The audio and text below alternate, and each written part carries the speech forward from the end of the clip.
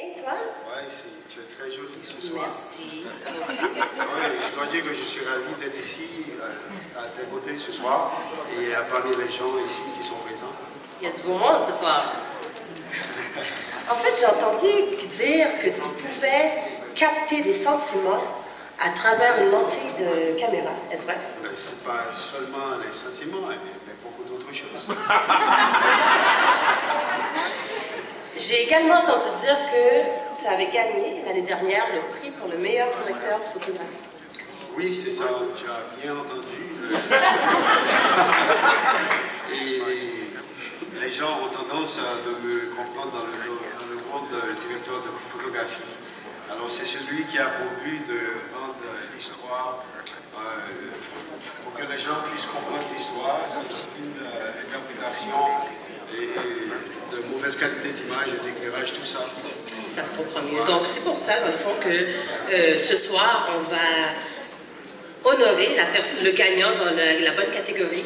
En fait, la catégorie pour le meilleur.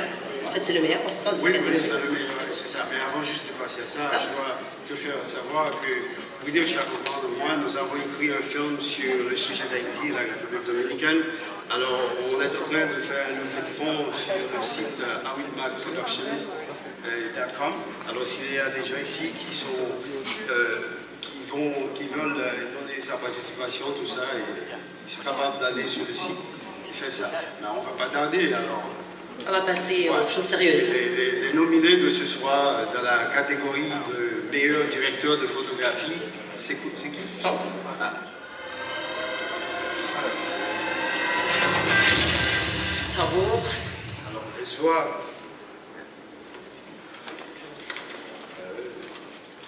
Voilà, donc le grand gagnant est Robert, Robert Peters.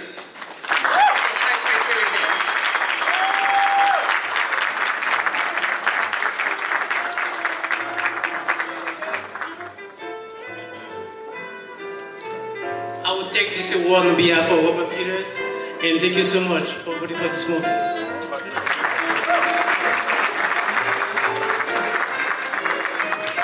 And now, ladies and gentlemen, now presenting the Best Original Movie Script